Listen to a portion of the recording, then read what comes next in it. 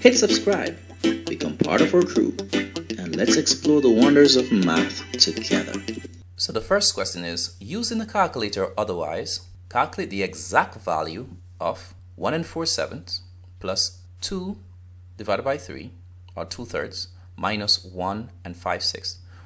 So first step is to convert those mixed numbers to improper fractions. Now, the mixed numbers are those with a whole number portion. So a whole number part and a fractional part. So to convert it, we're going to multiply the whole number by the denominator.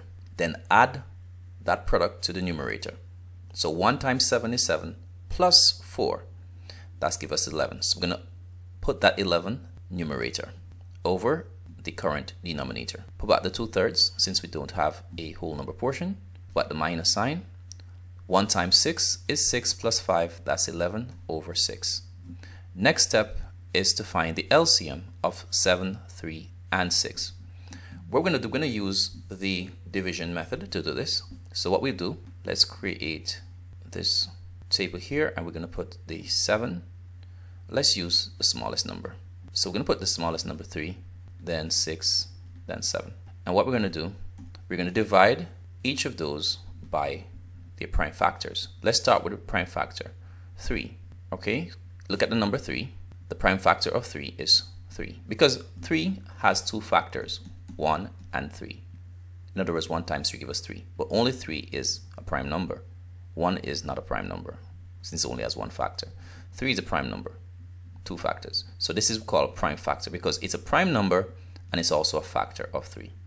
So we're going to divide by 3. Now 3 into 3 give us 1. 3 into 6 give us 2. Now 3 can enter 7 but we'll have a remainder so we're going to put back 7. So we will not use 7. Alright, so since we have a 1 here, we would not need to use 1. We're going to use 2 in this case. 2 into 1, right? We'll put back the 1 there. 2 times 2 into 2, that gives us 1. Uh, 2 cannot enter into 7 without a remainder it will give us a remainder. So we back 7. Alright, so we're left with just 1, 1, and 7. So we'll use 7. The idea is that we want all ones in the end. Alright, so put back the 1, put back the 1, and 7 into 7 gives us 1. So once we get a 1, we just put them back. Alright, so now we're left with all ones in the end. So what we'll do, these prime factors, we'll just simply multiply them, and that will be the LCM. So it'd be 3 times 2 times 7. 3, 2, 6, and 6 sevenths, that's 42, and that's the LCM. This is the division method. Now, 7 goes into, what we're going to do now, we're going to divide the LCM by the denominators, and the answers that we get, we'll multiply them by the corresponding numerators. So, 42 divided by 7 will give us 6. In other words, 6, 7 is 42. So in other words, if we multiply it by 6, we get 42. We multiply this by 6 as well, and that will give us 66. Okay, plus 3 goes into 42. How many times? If we have 42, I we divide by 3.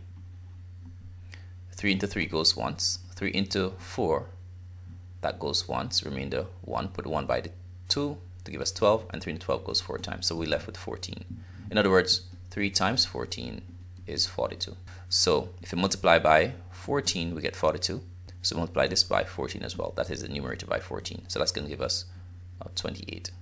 Minus, we know 6 times 7 is 42. So 11 times 7, that's 77. Okay, this is the same thing as saying 7 to 42 goes 6 times, and 6 times 11 gives us 66. 3 into 42 goes 14 times, 14 times 2 gives us 28. 16 to 42 goes 7 times, and 7 times 11 is 77. Just different approach. Okay, so now what we're going to do now is to add 66 plus 28 that will give us uh, 94. Let's see. 66 plus 28. 8 plus 6, that's going to be 14. 2 plus 6, 8.19, so that's 94. And then we're going to subtract 77, because that's what we have here, minus 77. Now, 7 from 4 we can't, we're going to borrow 1 from the 9, leaves us with 8, the one we borrow, let's put it there. And so 7 from 14, in other words, 14 minus 7, that's 7, and 8 minus 7, that's 1, so we're left with 17. So that's be 17 over 42. And that's our solution. All right, so there might be some different little methods that I use, for example, calculating the LCM. And it's a different method. You probably never seen that before. Um, perhaps you did. However, there are several other ways. And uh, we could also, we could have simply written out the multiples of 7, multiples of 3, multiples of 6, and then look at the lowest one, the lowest multiple that's common to all three. We'd have gotten 42 the same way. Alright, so for the next one, we're asked to write the value of the cube of 27 over 9 squared as a fraction in its lowest terms. So, how do we do this? What is the cube root of 27? That's the question. What is the cube root of 27? So let's rewrite that. The cube root of 27. So this, sim this symbol here is a radical symbol. Alright? So they refer to it as the radical sign, root symbol, radix, or surd. And it is a symbol for the square root or higher order root of a number. In this case, we're talking about cube root since we have a 3 here. Okay, so in this case it means what number when multiplied by itself three times give us 27. Alright, so there's several ways we're going to do that. Then look at how we can um, do that. So let's start with 27. What number can enter? What's the lowest number that can enter 27. Um, let's use prime factors. Well, let's use 3. 2 cannot enter 27 without a remainder, so we're going to use 3. 3 goes into 27 9 times. Let's use 3 again. 3 goes into 9 3 times, and 3 goes into 3 once. And of course, if you multiply all these, we end up with 3 to the third power. Okay? Which means that the cube root of 27 is 3 since 3 times 3 times 3 gives us 27. So the answer for the top one is 3. Now we're going to divide that by 9 squared, which means 9 times 9. And of course, we can simplify this. 3 into 3 goes once, 3 into 9 goes 3 times. And so that will leave us with 1 over 3 nines, 27. And so that's the answer as a fraction in its lowest term. Next, the thickness of one sheet of cardboard is given as 485 times 10 to the negative 2 millimeters. Let's write that. Now, a construction worker uses 75 sheets of the cardboard stacked together to insulate a wall. So this is the thickness of one sheet of cardboard. But let's write it as an ordinary number. You know that if we were to multiply just by a positive number, for example, 10 squared is really 100. So 10 to the negative 2 power, that is really what? That's really 1 over 100. In other words, 1 over 10 squared. Okay? So what we really have here is 485 times 1 over 10 squared, which is 485 times 1 over 100, and so this is going to be really 485 over 100. And if we're dividing by 100, you move the point two places to the left. And so that's going to be 4.85. What's a quick way of doing this?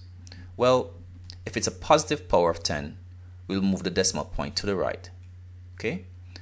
If it was a positive power of 10, we move the decimal point to the right. So, because it is a negative power of 10, we move it two places to the left. One, two.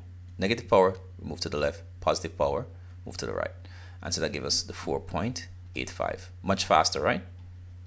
So this is the thickness of one sheet.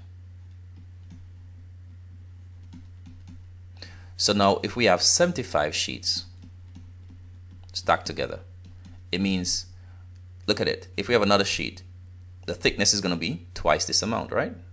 If you have three sheets, be three times this amount.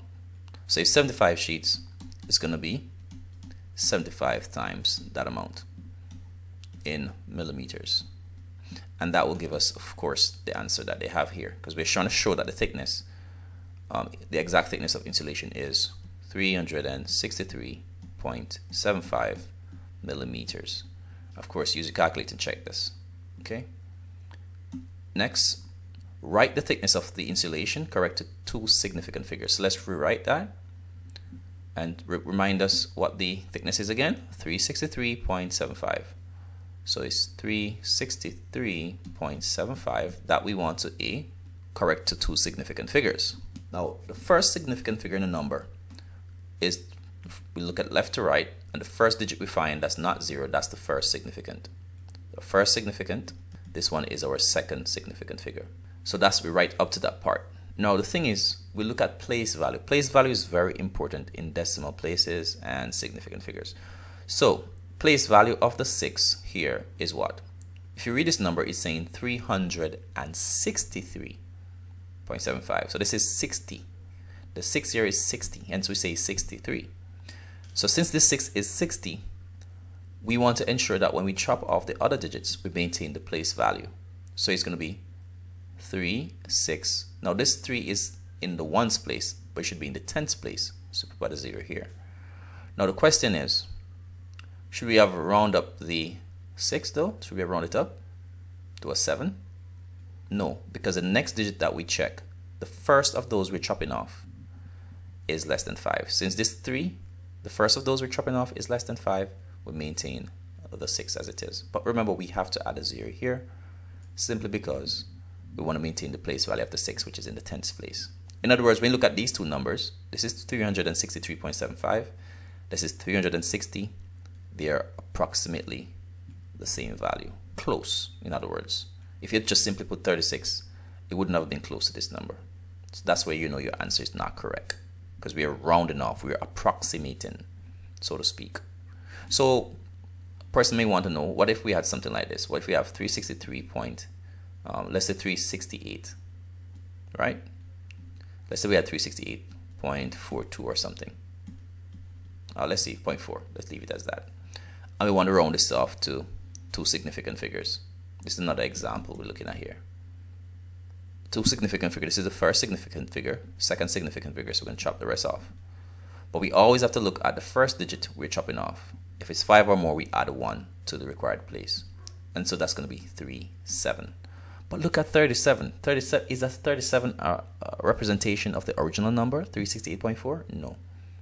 So we have to put a 0 there because the 6 that changed to a 7 was in the what? Tens place. So the 7 must be in the tens place. So that would be 370. And you can see that 370 is very close to 368.4. So that's the idea when they talk about rounding off. want to make sure the original and the approximated values um, are, are close. Okay, so that's part A. Part B, take the same 363.75, the original answer, and we want to correct it to one decimal place. So to one decimal place, we write, look at the whole number portion, 363, we don't trouble that. Then we go at the required decimal place, which is 1. Which digit is in the one decimal place? That is 7. And so we're going to ask this question. Do we add 1 to it or do we leave it as it is? we're going to chop off the other digits. Well, the very first digit we're chopping off is in the category of 5 or more. In fact, it's 5. So what do we do? Well, we add 1 to the previous digit, the last digit, the required decimal place. And so that's going to be 363.8. That's the answer to one decimal place. And this is, let me just write this, 2 sig fig right? And the thing is, we don't put a point at the end here. We have to be careful with that. If we had put a point at the end of the 360, then what would happen is that the zero would be significant. So avoid putting a point at the end. Hmm, uh, some people might say that's some technical stuff, but um, we don't put a point at the end, okay? Because the zero could be significant. The zero could be, for instance, if we were told to round this off to, well, it depends on what number we had. So if we had something like 4, um, 40.5 right? And we were asked to round this off to three significant figure. Let me use 440 point, um, uh, let's use 4, 440.4. And we were asked to round this off to three significant figures. This will be the first, this will be the second, and then this zero would be significant. Why? Because it's between two significant figures, the previous four and the four after. So it is significant. All right. And so we'd have 4, 4, 0 because we'll keep the 0 as 0 because the next digit is less than 5. And so we'll keep the 0. But do you notice that we have a 0 at the end just like in this case So this 0, while it's not significant, this one would be. And so we would need to put a point at the end here to help us to appreciate that. And so in this case, we, someone could clearly see that that 0 is significant. And that's how they actually um, double check that. So that's something you can you can really note. Okay. All right, so let's look at the next part of the question, which is writing that writing that same number, the original number, 363.75 in standard form. Now in standard form, you must have a number between 1 and 10. So a must be greater than 1. In other words, 1 must be less than a, which means a is greater than 1. And a must be less than 10. Okay, a is less than 10. So a is greater than 1 but less than 10. But a could also be equal to 1. Alright, so that's what we say a is standard is part of the standard form process. So a times 10 to the nth power. The n represent the number of places the decimal point will be shifted. Okay, so this is the form that we want, where n is basically an integer. n is a subset, well, n is a member of the set of integers. Correction. All right, and integers, you know, we have negative whole numbers, zero, and positive whole numbers. So, for instance, if I have a, a thousand and I want to write that in standard form, what would it be? Bear in mind we call standard form scientific notation, okay? In some places, they look at the original number like this as the standard form and what we're converting into, which is this as the scientific notation. So, but we look at both as the same. This is standard form, this is scientific notation. Now to convert, an, we're looking at an example here. To convert this into standard form, it's not because a thousand is not between 1 and 10. So we look at where the point is and shift the point and put it after the first significant figure, which is after the 1, so that we have 1 here. The point comes after. But do we need to put back these zeros here? No, because they make no sense there. I mean, it doesn't change anything really. Let's keep them there for now. Um, yeah, and we're going to multiply by 10 to what power? What power of 10 will bring this point back to the end? Well, 1, 2, 3. No, positive 3 because we want the point to move back to the end. And so, of course, this is 1 times 10 to the third power. Now, we don't want that those um, points, those zeros there, so we can take them off. But all if you can, if you, if you notice what we're doing here is really this. Multiplying 1 by 10 to the third power. 10 to the third power is 10 times 10 times 10, which is a 1,000. So it's 1 times a 1,000, which gives us back a 1,000. Now, hopefully that made sense. All right. And um, what if we had um, some numbers there other than um, zeros? Let's, let's put some other digits there other than zeros. Um, so let's use 1200. Okay. I want to convert that into standard form. Again, the point is at the end, so we want to shift it, place it right after the first significant figure. So we have 1.2, 0, 0 times 10.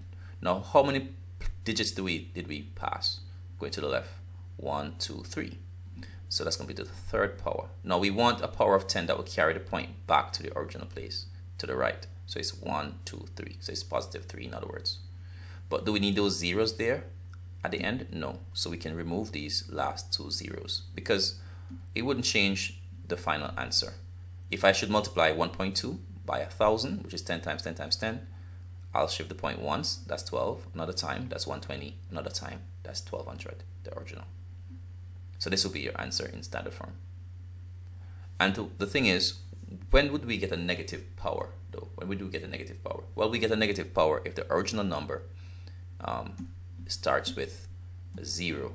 For instance, let's suppose that we have let's suppose that we have 0 0.0045. We still want the first part to be a number between 1 and 10. Could be 1 but not 10. So we're going to shift this point and put it after the first significant figure. So that's become 4.5. Now, uh, these zeros that were there at the beginning I mean, do we really need them? Right? Those should be three zeros there. One second, some technical difficulties. All right, so do we need those um, zeros there? Of course not. So let's write that back again. So that's going to be um, 0, 0, 0. The point goes after the 4.5. All right, if you put this in your calculator, it's going to, and press equal, it's going to discard the first three zeros. So we don't need those there. Still saying 4.5. All right, but we want them back when we multiply by a power of 10. What power of 10 will bring them back? Let's put them back there for just for show for now. Well, when we multiply by a power of 10, we want the point to move back to where it was. But one, two, three places to the left. So we use negative 3. Okay, and that will bring it back one, two, three places to the left. Because we're dividing by 10,000 in other words. Okay, so if you weren't sure what I was saying, if it was 10 to the third power, not 10,000, but 1,000, sorry. 10 to the third power is 1,000. So if it's 10 to the negative third power, then it's 1 over a 1,000.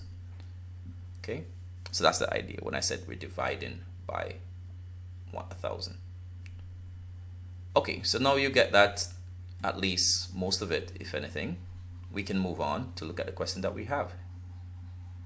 Alright, you can always check out some other videos on standard form or scientific notation. Okay, so this is the number that we've given. I'm going to write it in standard form. So what we're going to do, we're going to ensure that this number is written as a number between 1 and 10 first off, the first part, A. So we're going to shift the point, put it after the first significant figure. So when we read it, we write the significant figure 3 first, then point. So we can clearly see the point comes after the first significant figure. Then write the other digits that we have, 6375. Then we want to multiply by a power of 10 that will bring the point back to where it should be. So how many places do we shift the point? Two places. But we need to make sure that it's a positive power so the point can go back to the right where it was after the second three. And so this will be our solution. Hopefully that was clear and you can always check some other videos out on this. Part C. We're told that Marco is on vacation in the Caribbean and he changed his 4,500 Mexican pesos to Eastern Caribbean dollars. He receives 630 Eastern Caribbean dollars for that. So we're asked to complete the statement below about the exchange rate. What we're told, one EC dollar is equal to what? Question mark. Mexican pesos. Okay, so we're not sure about that. But what we, we know for a fact, let's look at EC dollars. What we have, we have 630 EC dollars. That is equivalent to 4,500 Mexican pesos. So treat this like an equation. And with conversion, you only divide or multiply. So if we want one EC dollar, we're going to divide this side by 630. Why is that? Because 630 into itself give us 1. That's 1 EC dollar. I'm to do the same thing to the other side as well. Divide by 630. Okay, so we could do the long division with this or short division, but that's going to take some time. Use your calculator. So 4500 divided by 630 give us, yeah, some long decimal number. So one, 7.14285, etc. But since we're dealing with money, we only want what? Two decimal places. So we're going to write up to this point. All right, 7.14. We only need two digits after the point with currency, with money. But we always need to check the very first digit of those that we are cutting off. Because it's not in the category of 5 or more, we will leave the very last digit that's required as it is. If this digit here was 5, 6, 7, 8, or 9, then we will add 1 to the 4 to make it 5. And it would have been $7.15. But since this is less than 5, whether it's 4, 3, 2, or 1, or 0, our answer is going to be 7.14. Okay, so we can chop those off. And so, and that's the amount in Mexican pesos. So one EC dollar equals $7.40 Mexican pesos. Uh, let me just repeat it again. One ECD equals 7.14 Mexican pesos.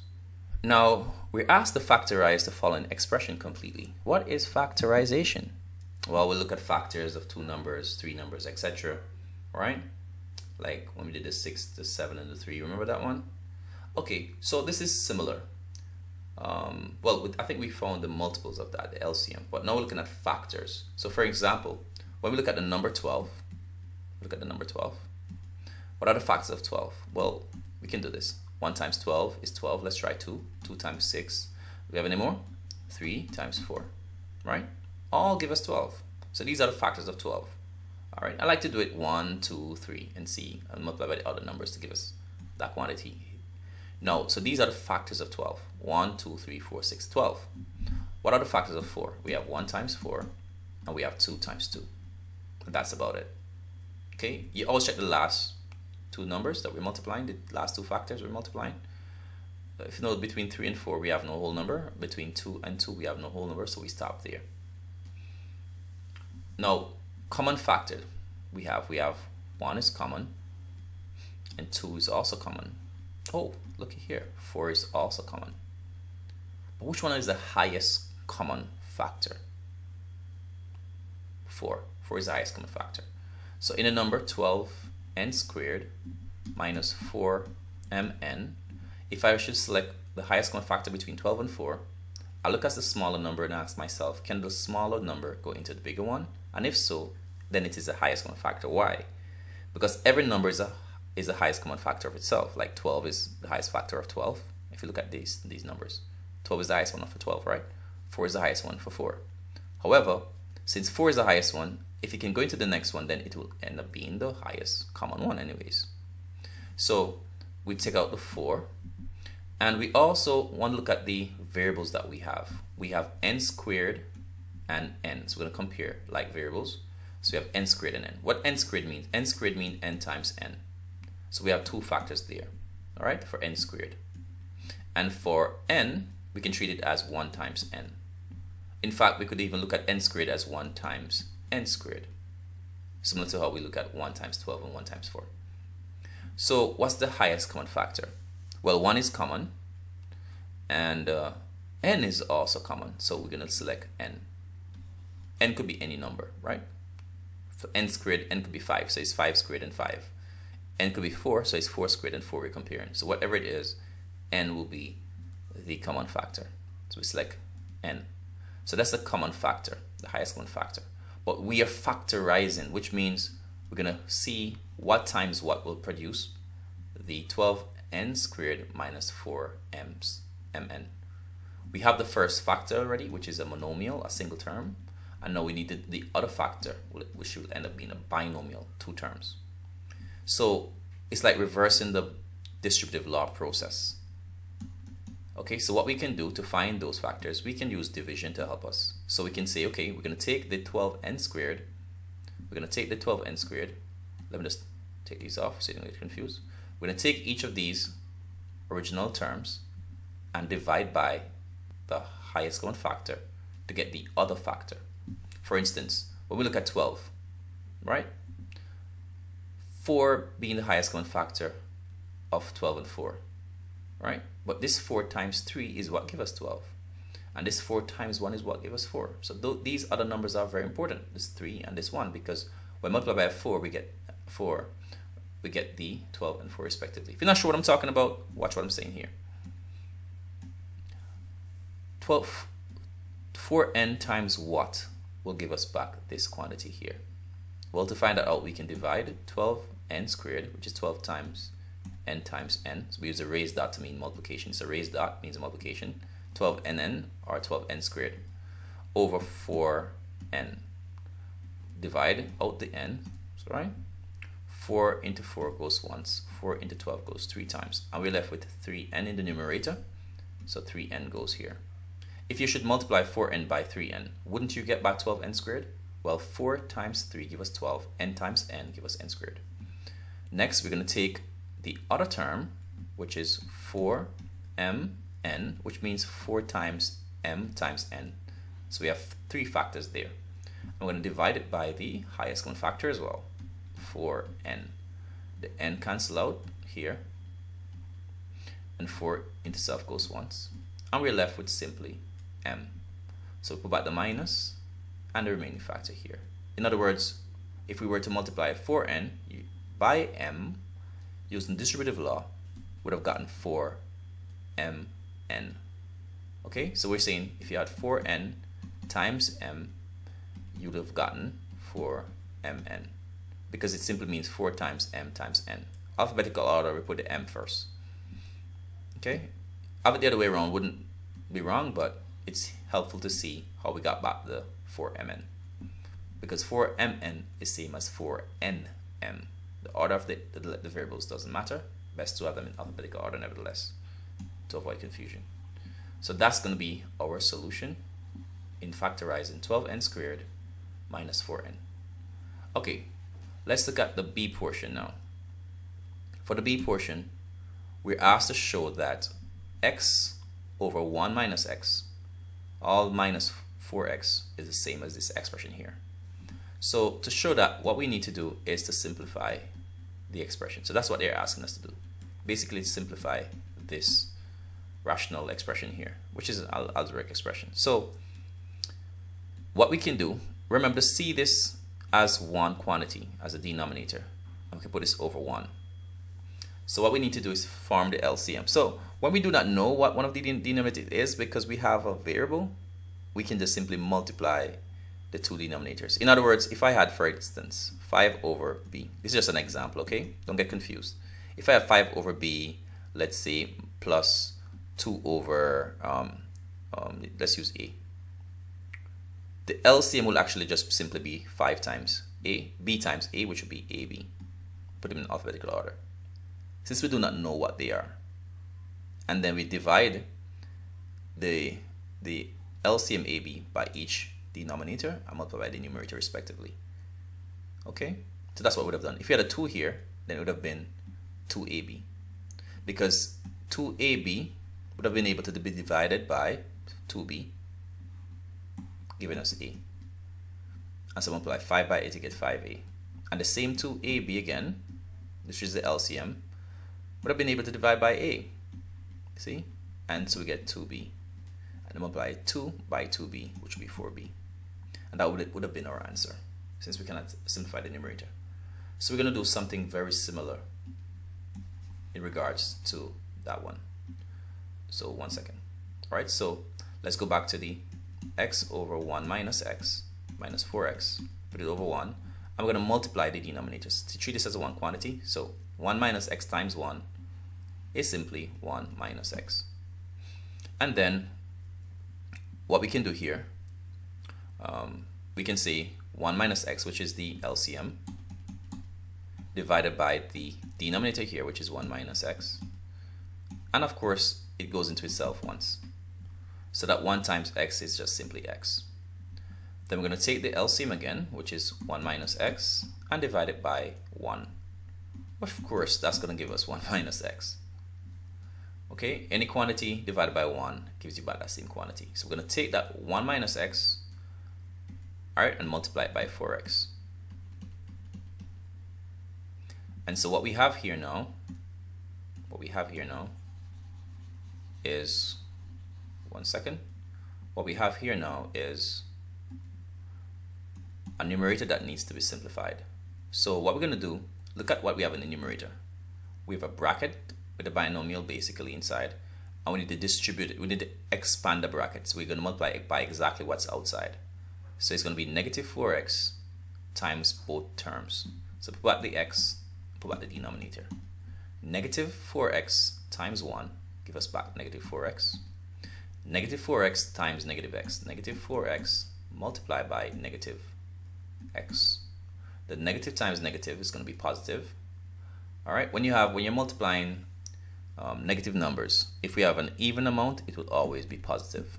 If you have an even amount, 1, 2, so it's going to be positive. And 4 times, this is really negative 1x. So 4 times 1 is 4. And x times x is simply written as x squared. That's a different way of writing it. So it's going to be positive 4x squared. All right, now let's simplify this further. If we have 1x minus 4x, the truth is we have like terms here. And 1 minus 4 is really 3. So we have negative, well 1 minus 4 is negative 3, so they have negative 3x. So this portion here work out to be negative 3x those are the like terms. The 4x squared is not a like term with these. We cannot add unlike terms or subtract unlike terms. Once you have a different power, it, we don't have like terms.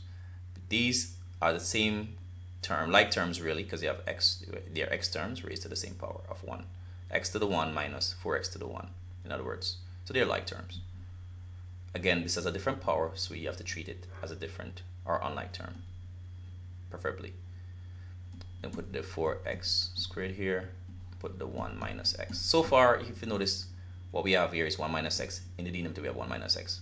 What we need to do now is to factorize so we end up with the same term. Factoring, factorizing, only x is common between negative 3x and 4x squared. So we're going to factor out an x. Again, if you have x, right, if you have x squared and x, um, what's the highest common factor? Well, it'll be x. Because x is, the factors of x are really 1 and x, because 1 times x give you x.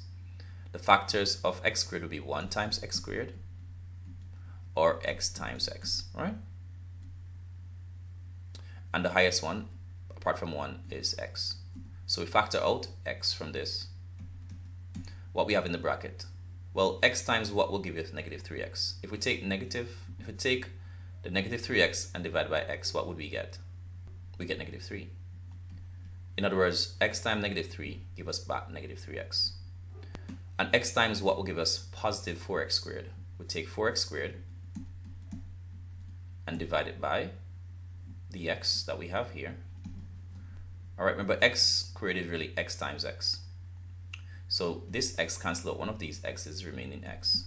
So all we left back is 4x. So it's positive 4x. Alright? Okay, so if you notice, it's very similar. We have a positive 4x in bracket here, just like we have here, and a minus or minus 3, like a negative 3. So all we need to do is to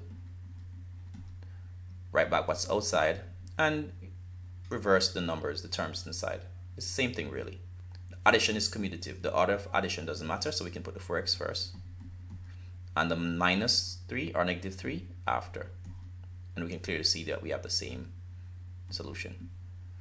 Alright, so the, the explanation was a bit lengthy, but once you understand what you're doing, you can actually make shortcuts. Hopefully that was helpful. Alright, so it says hence solve the equation. Okay, so remember that this particular, let's get it, this particular portion we dealt with already. So let's go back to what we had in the previous. All right, we'd have worked out this, showing that it's actually equal to this. So this is what we're gonna do. All right, we have x open bracket 4x minus 3 over 1 minus x. The, the point in saying hence is that we're going to use our answer in the previous um, question. We're going to write this as that answer, okay? So remember what we had? Well, we have the x, we had 4x minus 3 over 1 minus x. And we're saying that this rational expression is the same as this one. Rational because we have a fraction, right? Like a ratio. So this one is like is this basically this one so we just replace it that's why they say hence because we wouldn't have to go back through this to simplify this to solve. It's like part has already been done.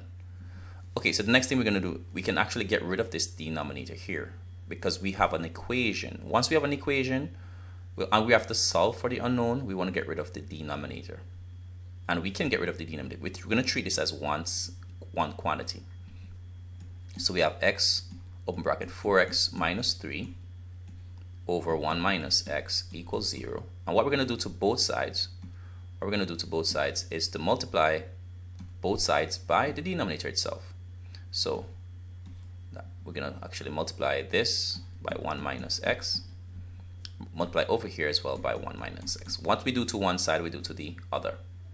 So I multiplied this left hand side here by 1 minus x I multiply this right hand side also by 1 minus x.